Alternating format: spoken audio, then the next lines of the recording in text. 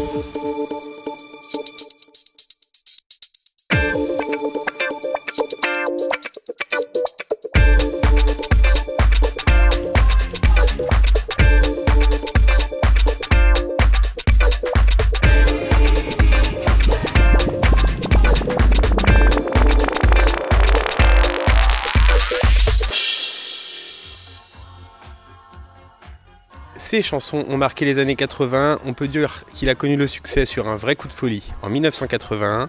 Bonjour Thierry Pastor. Bonjour. Merci de nous recevoir ici au Palais Nicaïa. Alors, plusieurs tubes. Moi j'en ai, j'en ai retenu deux, hein. deux gros succès. Nuit de folie en 81. coup, de, coup de folie. Coup de folie, pardon. Oui, Nuit de folie, c'est pas vous, c'est un autre groupe qu'on recevra tout à l'heure. Coup de folie et sur des musiques noires en 85. Comment vous expliquez ces, ces succès et comment vous expliquez qu'ils aient comme ça traversé le temps et que même les générations aujourd'hui écoutent encore? Euh, souvent, je fais référence, bien sûr. Euh, alors moi, je suis un peu particulier. C'est-à-dire que c'est vrai que le coup de folie a été euh, assez vite, je dirais, dans les hits des clubs, et ça a démarré par les hits des clubs, par André Torrent sur RTL. C'est devenu en fait des hits dans les clubs d'abord. Ensuite est arrivé la FM. Et moi je dis, on est né grâce à la FM, bien sûr. La FM a été euh, à installer tous ces titres dans le temps beaucoup plus longtemps qu'on pourrait le faire aujourd'hui, qui fait que, bah, ouais, comment ne pas se souvenir du coup de folie ou des musiques noires ou de Macumba ou de, parce que je crois que c'est passé pendant très longtemps, très longtemps. Et le phénomène, c'est que ça passait aussi bien en discothèque que sur les FM.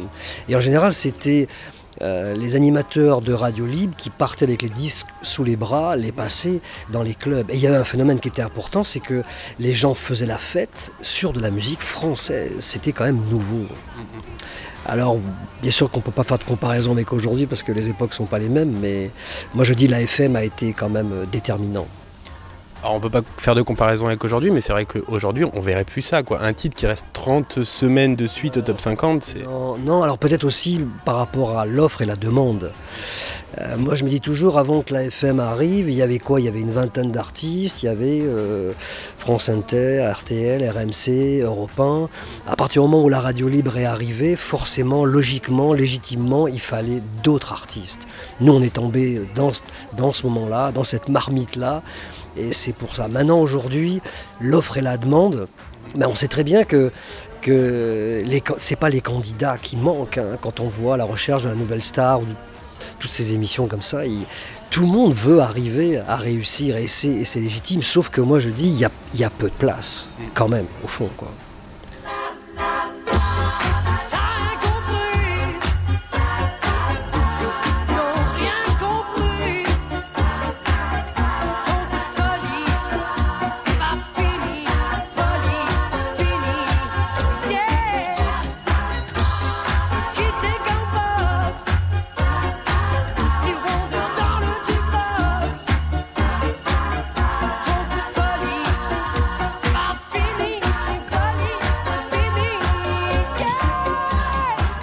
Cette tournée années 80, qu'est-ce qui vous a séduit dans, dans, cette tournée Qu'est-ce qui vous a donné envie de la rejoindre? Bah, cette, tournée, c'est vraiment, on est d'abord une bande de copains. Ça, c'est, je crois, le, parce que on, ne pourrait pas être sur scène aussi à l'aise, euh, être aussi, euh, je dirais, généreux, sachant qu'entre nous, euh, on a des différents. Je pense qu'on a mis nos égaux vraiment, vraiment de côté, et que 30 ans après, bah, on se retrouve, parce que ça fait 30 ans qu'on se connaît quand même. Hein. Madère, par exemple, on vient de la même maison de disques et ça fait 30 ans qu'on fait du spectacle non-stop depuis 30 ans. Alors aujourd'hui, le best-of, évidemment que c'est la cerise sur le gâteau, quoi. Parce que les conditions sont optimales. On fait des salles où on touche 4000, 5000, voire 8500 personnes à Nantes, dans des conditions vraiment euh, géniales, quoi. Et qui fait que bah, tout le monde est super content de, de faire cette tournée, vraiment. Est-ce que ne serait-ce qu'une seconde, vous auriez imaginé ça à l'époque? Ah non, c'est ce que je dis souvent. Comment imaginer à l'époque, 30 ans après, on allait chanter et qu'on allait voir en bas dans la tête des gens et dans le regard des gens ce, même engouement, quoi. Cette même. Euh, et le phénomène est d'autant plus grand, c'est que les parents aujourd'hui viennent avec les enfants et que ces mêmes enfants-là, il leur arrive de faire la fête. Et sur quoi ils font la fête? Ben, Sur ces mêmes chansons. C'est quand même un truc de fou qui nous arrive. quand même. C'est marrant d'ailleurs avec les enfants parce que très souvent on voit par exemple des parents qui vont dire donc le nom de l'artiste, l'enfant ne connaît pas forcément et dès qu'il entend la chanson, bah, ah oui. C'est ça, c'est ce que je dis souvent, les noms, Jean-Pierre Madère, euh, Thierry Pastor, euh, euh, vous, leur chantez, t'as rien compris quand tu dis, et là ah oui, parce que les, vraiment les chansons génèrent les noms en fait. Et les gens qui sont là présents, on, comprend bien que c'est ce qu'ils veulent c'est chanter avec nous, c'est participer. Et Cookie dit un truc très, juste, on a l'impression que les chansons ne nous appartiennent plus en fait. Elles sont aux gens, elles leur appartiennent. Nous, on est juste interprète d'une chanson qui, euh, depuis 30 ans euh, est dans l'inconscient collectif, on va dire.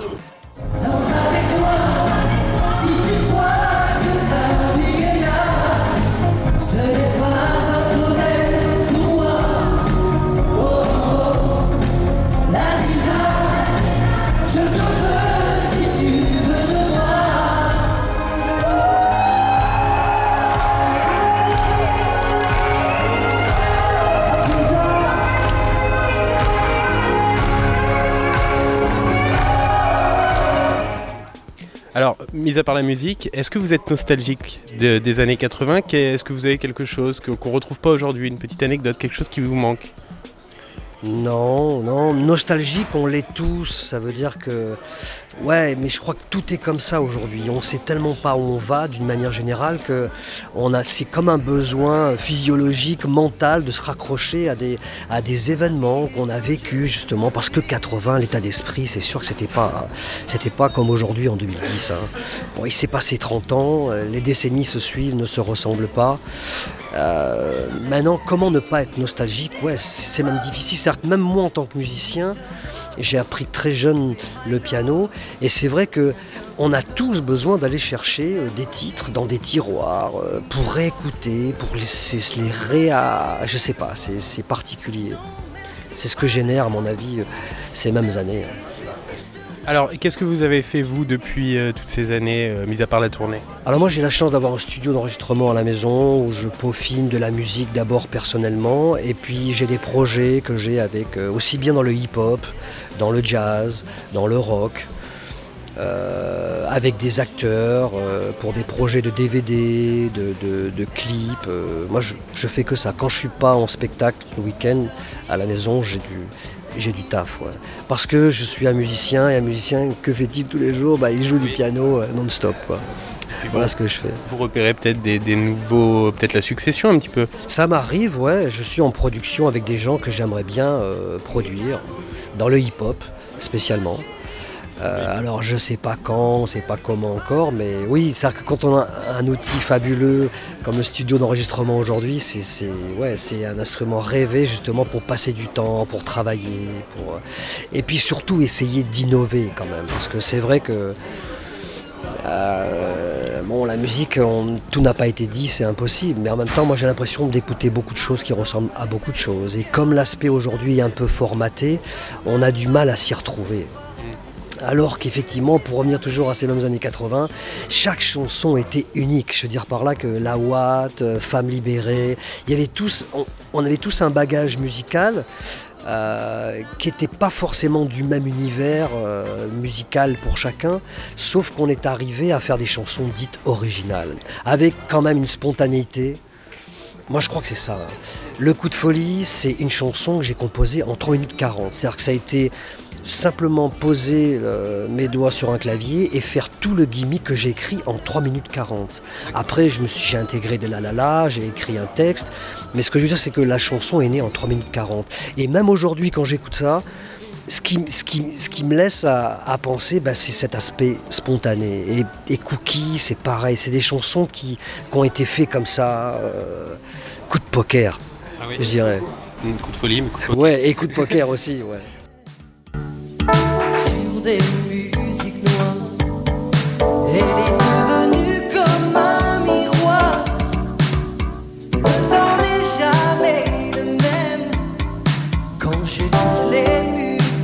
que j'ai. Otis, Ellie, Joe Cooker et Mick Les yeux fermés,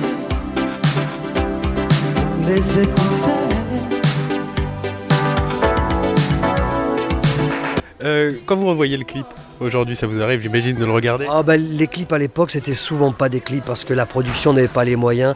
C'était souvent des émissions de télé qui, qui, remettaient un peu... Ouais. Moi je me souviens pour le top 50, avec les musiques noires, je crois que je suis arrivé autour des dixièmes. Mais c'était une émission de télé que le producteur avait euh, gentiment remis au top 50 parce que bon les moyens. Bon c'était un, petit label en même temps. Hein. Mm-hmm. C'était pas une production énorme. Hein. Mais bon, des gens, un petit label qui a bien travaillé, puisque quand on voit le nombre de titres, euh, Rose Laurence, Jean-Pierre Madère, euh, enfin bon, que du tube quoi. Alors, pour finir, on a une petite chronique qu'on fait donc depuis la tournée des années 90 avec euh, toutes les personnes qu'on reçoit. Vous avez eu des, fans, vous en avez encore. Quelle est la chose la plus surprenante ou la plus hallucinante qu'un fan vous ait fait?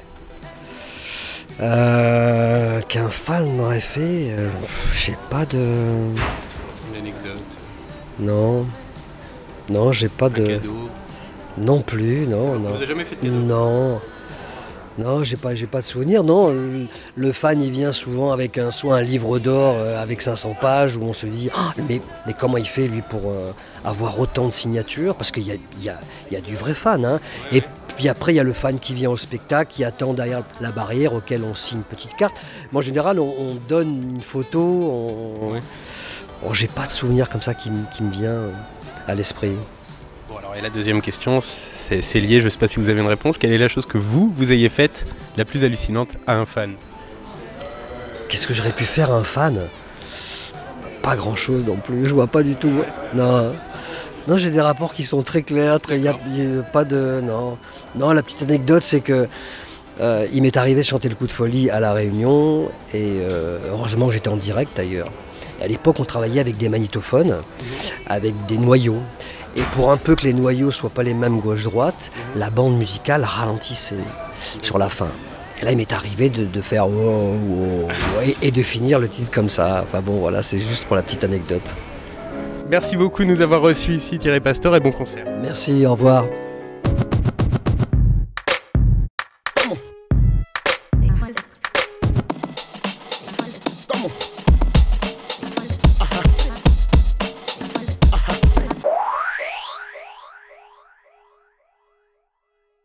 C'est la grande mode maintenant, tout le monde sort son iPhone. On ne faisait pas ça dans les années 80. Avec une qualité HD, euh, on peut aujourd'hui faire de la photo sur iPhone, hein. c'est sûr. Hein. Photo souvenir.